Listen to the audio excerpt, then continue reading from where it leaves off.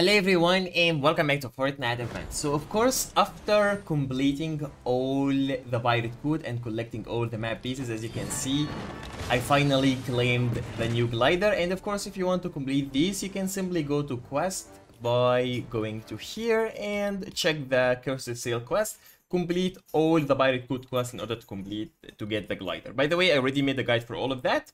Now let's test the glider since we already unlocked the final skin, which is this one, the final skin, and also I'm gonna show you guys the glider in game right now. So let's go together in game and show you guys the glider in game.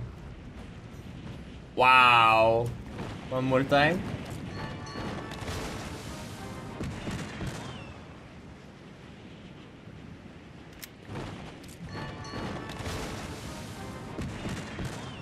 Uh-huh. Did you see the animation, guys?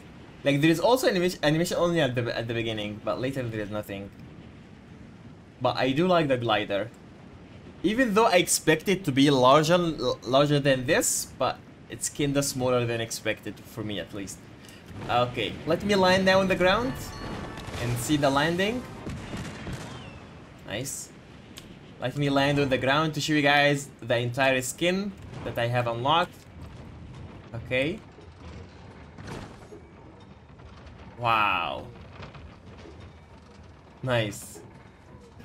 I, I, I didn't wear the other back bling by the way, but this back bling looks cool on that skin, to be fair. And...